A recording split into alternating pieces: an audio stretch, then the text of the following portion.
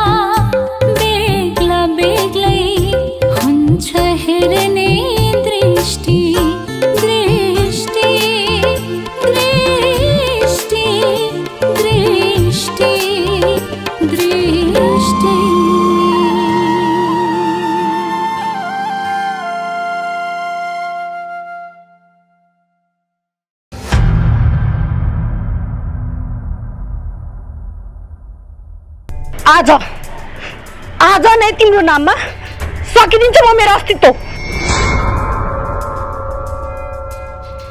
मेटाइदिन्छु म आफूलाई।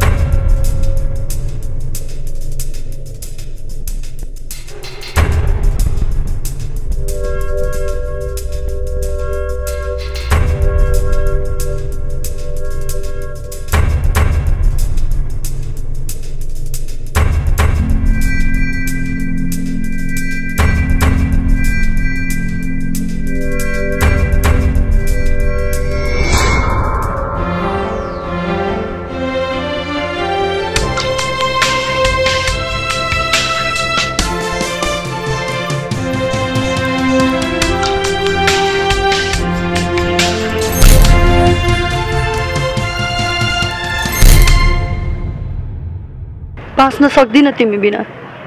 तिमी बिना पागल हुन्छु म। मैले आफूलाई मात्र तिमीमा सुम्पिएकी छु। मेरो मनमा तिमी बाहेक कोही पनि बस्न सक्दैन। प्लिज सुलक्षण बिहे गरौँ हामी प्लिज बिहे गरौँ हामी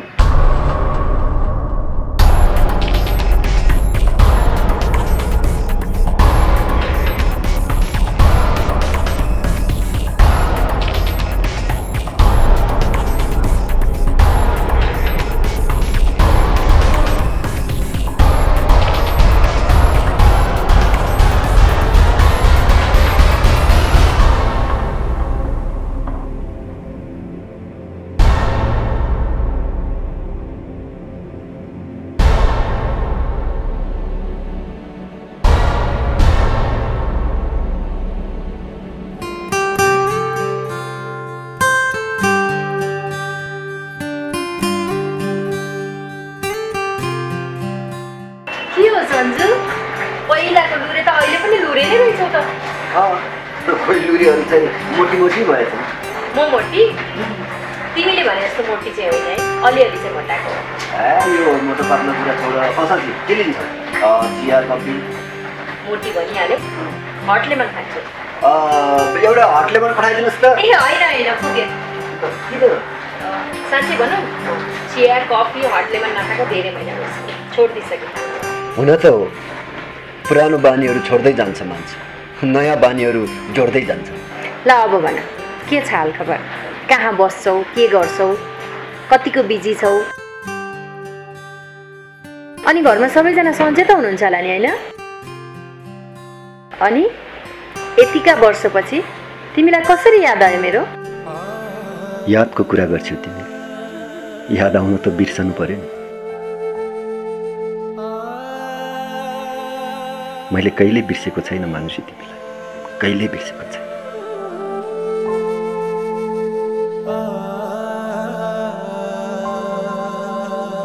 सन्जु के सोचेको? अब केही पनि होइन। अँ साँच्ची सन्जु तिमीले बिहे कहाँबाट गर्यौ? बिए मेरो बिए भएको त एघार वर्ष भइसक्यो म्याडम। ओ माई गड एघार वर्ष? यो त एउटा युगै भयो नि होइन र? एघार वर्ष अगाडि त म त बच्चै थिएँ होला। इफ यु डोन्ट माइन्ड बिहा गरेको एघार वर्षसम्म नो किड्स कस्तो अचम्म है? यसमा अचम्म मान्नुपर्ने कुनै कारणै छैन मानुसी म कसैलाई एकहोरो प्रेम गर्थेँ सायद ऊ मेरो भाग्यमा थिइनँ होला।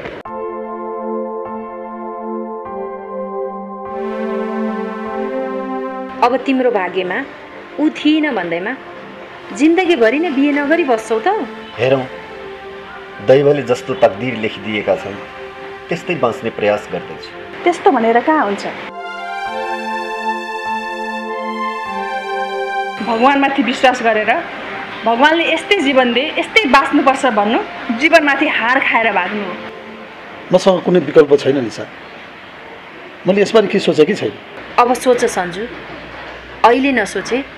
कहिले सोध्छौ त आफ्नो बारेमा? अब भने सोच्नु पर्ला। किन? थाहा छ? आजसम्म यसरी सम्झाइदिने कुनै साथी नै थिएन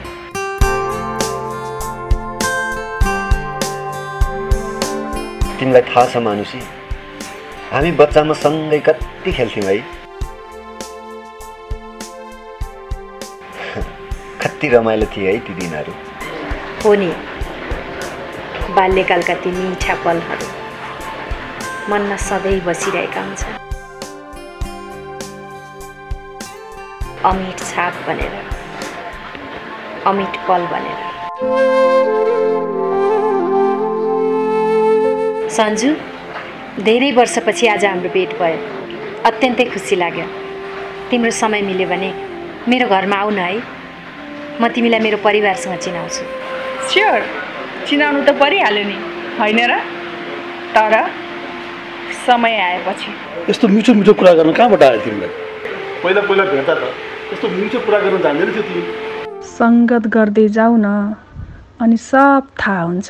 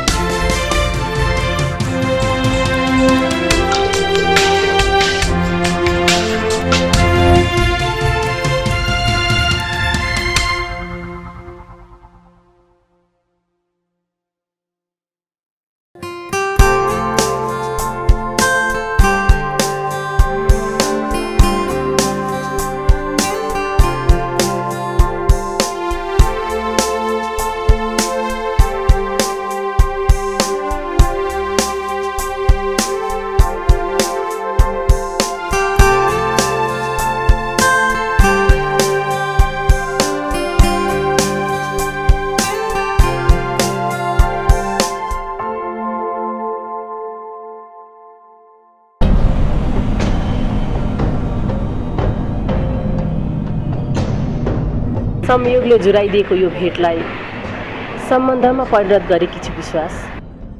मेरो विश्वासमाथि विश्वासघात नगरिदिनुहोस् है। हेर सुरभि तिमीले ममाथि कुनै शङ्का गर्नु पर्दैन। तिमीले आँखा चिम्म गरेर विश्वास गरे हुन्छ मलाई। तिमीले गरेको विश्वासलाई जीवनमा कहिले पनि घात गर्ने छैन म। And it's my promise to you thank you thank you विश्वास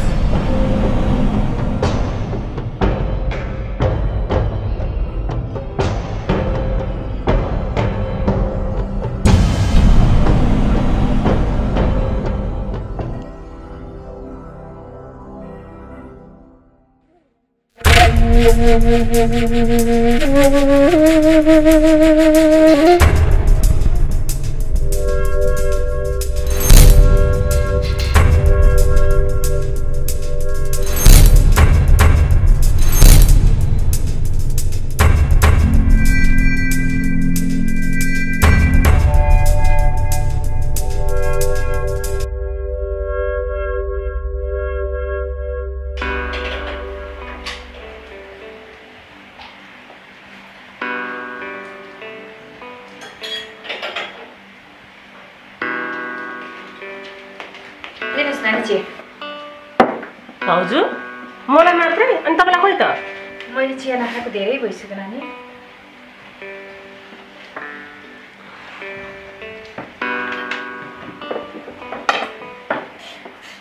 भाउजू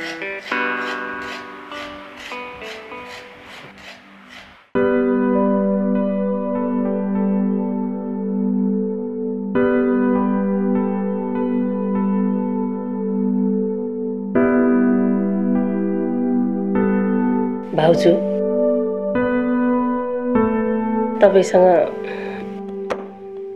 केही कुरा सेयर गर्ने मन थियो। भन्नुहोस् न नानी। सेयर गर्नुहोस्। किन अप्ठ्यारो मान्नुहुन्छ?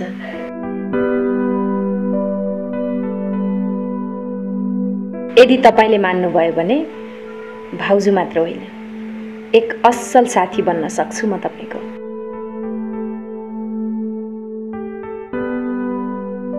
ल अब भन्नुहोस् त नानी कुरा के हो? भाउजू कुरा के हो भने नि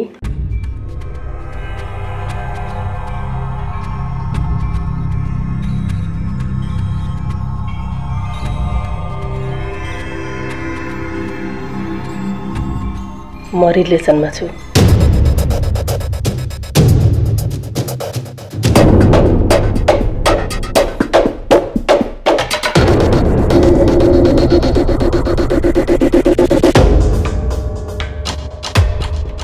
के रे? रिलेसनमा छु रे।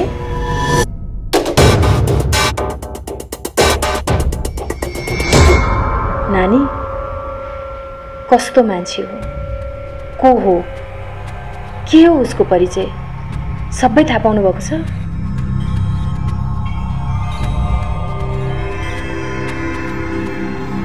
हिजो अस्तिसम्म त केही थाहा थिएन। केही भन्नुभएको थिएन त। भाउजू माया कहाँ कति बेला कोसँग कसरी बस्दो रहेछ? पत्तै हुँदो रहेछ। यसको मतलब उसको बारेमा सबै कुरा थाहा छैन तपाईँलाई। सबै कुरा थाहा नभए पनि एउटा कुरा चाहिँ पक्कै थाहा छ भाउजू। अथाह प्रेम गर्छ उसले मलाई। यो उमेरमा मन पराउँछु प्रेम गर्छु भन्ने मान्छेहरू त धेरै आउँछन् नानी। तर साँचो प्रेम गर्नेहरू कम पाइन्छन्। नानी अहिले समय फेरिएको छ। कुनै न कुनै स्वार्थ बोकेर नाता जोड्न आएको देख्छु म त धेरै मान्छेहरूलाई। विश्वास? ऊ मेरो विश्वास हो भाउजू। ऊ त्यस्तो छैन। माया गर्छ मलाई। केयर गर्छ मेरो। माया गर्छु भन्नेहरू त धेरै आए तर ऊ जीवनसाथी देख्छ मलाई। अनि तपाईँ नि? म पनि। जीवन तपाईँको हो नानी। र जीवन बाँच्ने निर्णय पनि तपाईँकै हो। हामी छोरी मान्छेको इज्जत सियोको टुप्पोमा हुन्छ अरे। हाम्रो घर र हाम्रो परिवारको बारेमा राम्रोसँग थाहा छ तपाईँलाई। आमाको सङ्घर्ष र त्यागलाई बुझ्नुपर्छ तपाईँले। तपाईँले चालेका हरेक कदमसँग हाम्रो इज्जत गाँसिएको छ नानी। राम्रोसँग ख्याल राख्नुहोला। अरू त के नै भन्न सक्छु र नानी म। बाँकी सबै कुरा तपाईँ आफै बुझ्नुहुन्छ। यो घर आमाको मान दाजुभाइको सान अनि तपाईँको इमान्दारितामाथि आँच आउन दिन्न भाउजू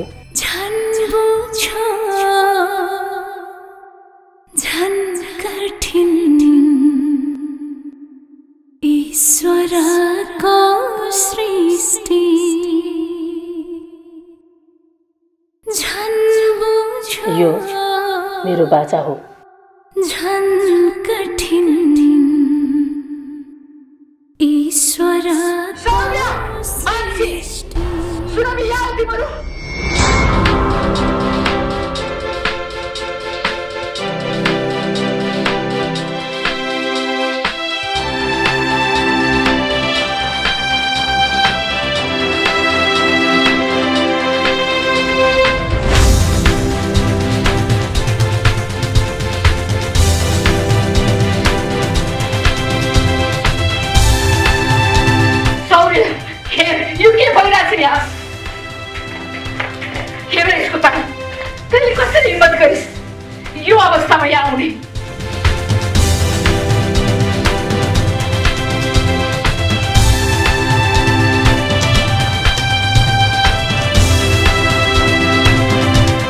भगवान् के देख्नु पर्यो कसको छोरी हो?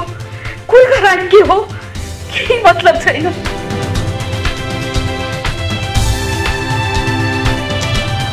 होइन तैँले के सोचिस्? आज एक्कासी बिहा गरेर केटी लिएर यो घरमा आउने आँट कसरी गरिस् तैँले?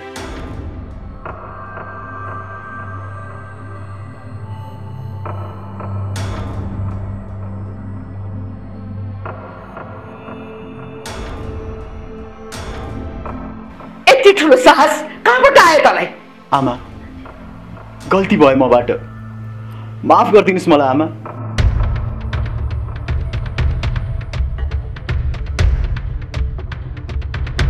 छोरा हो म तपाईँको। आशीर्वाद दिनुहोस् आमा मलाई। हो। कष्ट नगर तपाईँको आशीर्वाद बिना मेरो जीवन चल्दैन आमा।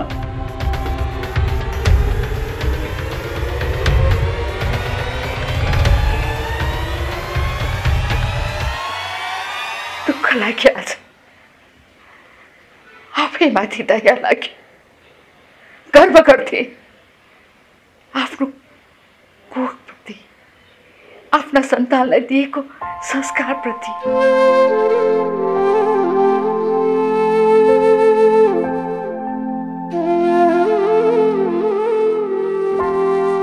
तर छ। छ मेरो कुखलाई। अस्तिसम्म मैले तँलाई सोद्धा सानै छु आमा भनेको दुई चार महिनामा यति ठुलो भइसकिस्।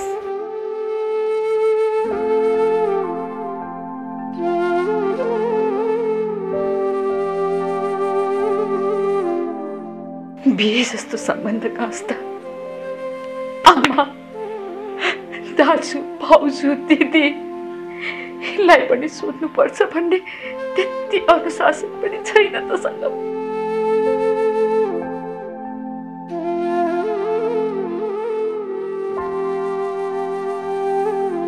लाग्छ। तेरो यो कदमले खुसी छ तेरो परिवार। खुसी छ। हुन त तँ जस्तालाई परिवारको बारेमा सुनाएर के फाइदा? आमा। चुप त।